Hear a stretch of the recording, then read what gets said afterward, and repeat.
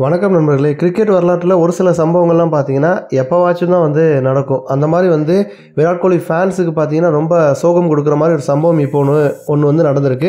பொதுவாகவே வந்து இந்த ரேங்கிங் அப்படின்னு சொன்னாலே வந்து கோலி இல்லாமல் டாப் டென்னே வந்து இருக்காது. கோலி கண்டினியூஸாக பார்த்தீங்க அப்படின்னா அந்த டாப் ஃபைவ்க்குள்ளே இருப்பார். அட்லீஸ்ட் வந்து டென்னுக்குள்ளேயாச்சும் இடம் பிடிச்சிவார்.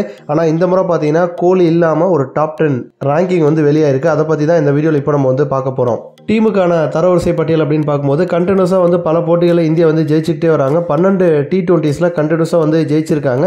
அதனால் தரவரிசை பட்டியலில் பார்த்தீங்கன்னா டீம் ரேங்கிங்கில் இந்தியா தான் வந்து ஃபஸ்ட் பிளேஸில் வந்து இருக்காங்க இலங்கைக்கு எதிரான டி டுவெண்ட்டி தொடரில் வந்து அவுட்டே ஆகாமல் ஒட்டுமொத்தமாக இரநூத்தி நாலு ரன்கள் வந்து ஸ்ரேயஸ் ஐயர் வந்து அடிச்சிருப்பார். இப்போ டி டுவெண்ட்டி ரேங்கிங்கில் வந்து ஐயருக்கு வந்து ஒரு நல்ல முன்னேற்றம்னு சொல்லலாம். ஏன்னா ஒரு இருபத்தி ஏழு இடங்கள் முன்னாடி வந்து இப்போ வந்து பதினெட்டாவது பிளேஸில் வந்து ஐயர் வந்து இருக்கார்.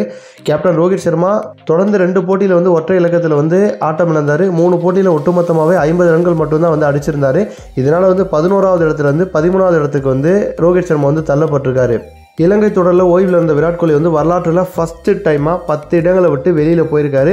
இதற்கு முன்னாடி வந்து பத்தாவது இடத்துல இருந்த விராட் கோலி இப்போ வந்து பதினஞ்சாவது இடத்துக்கு வந்து தள்ளப்பட்டிருக்காரு. பேட்ஸ்மேன்களுக்கான தரவரிசை பட்டியலில் பாபர் அசாம் பார்த்தீங்கன்னா தொடர்ந்து வந்து முதல் பிளேஸில் வந்து இருக்கார். இப்போ வந்து டி டுவெண்ட்டியில் வந்து பந்து வீச்சுன்னு பார்க்குறப்ப இந்திய பவுலரான புவனேஸ்வர் குமார் வந்து இருபதாவது இடத்துல வந்து பதினேழாவது இடத்துக்கு வந்து முன்னேறி இருக்காரு டாப் டென்னுக்குள்ளே பார்த்தீங்கன்னா இந்திய பிளேயர் ஒருத்தர் கூட வந்து இல்லை.